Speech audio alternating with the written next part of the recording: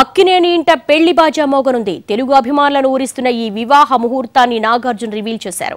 మరో రెండు రోజుల్లోనే పెళ్ళంటూ శుభవార్త చెప్పారు. గోవాలో పెళ్ళి చేస్తున్నట్లుగా ప్రకటించారు. అయితే చైతన్య కోరిక మీద మ్యారేజ్ను చాలా సింపుల్గా చేస్తున్నామన్నారు చైతు సమంతల సూచనతో ఒకరోజు హిందూ సంప్రదాయంలో మరో రోజు క్రిస్టియన్ సంప్రదాయంలో వేడుకలు జరుగుతాయన్నారు. వివాహాన్ని సింపుల్గా చేసినా హైదరాబాద్లో రిసెప్షన్ గ్రాండ్గా ఉంటుందన్నారు. రామనాయుడు గారి family my family and Samantha's family.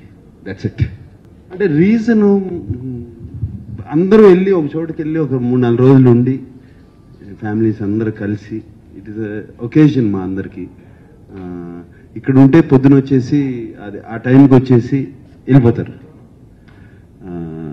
So అక్కడ ఉంటే అందరూ ఆ- ఫెస్టివిటీస్కి ఆటికి ఆ మూడు రోజులు ఉంటారని చెప్పి బయటకు వెళ్దామని డెసిషన్ తీసుకున్నాం.